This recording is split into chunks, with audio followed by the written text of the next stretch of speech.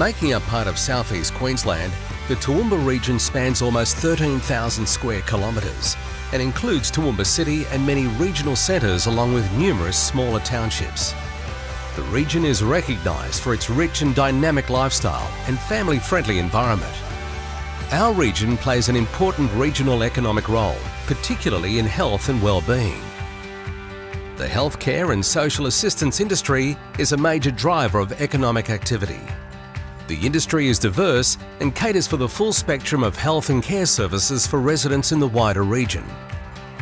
Within this industry, the largest subsector is hospitals, with the region's home to three major facilities including St Vincent's Private Hospital, St Andrew's Toowoomba Hospital, Toowoomba Hospital.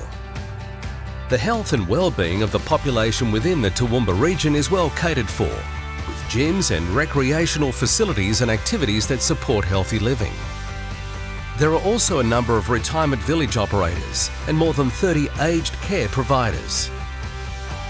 The Toowoomba region's ageing population is expected to generate strong demand for new businesses, which in return will provide opportunities for the region to build on its reputation as a major health hub.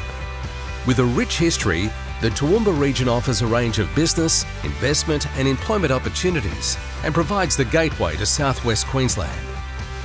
Our region is a safe, healthy and diverse community that celebrates a quality lifestyle.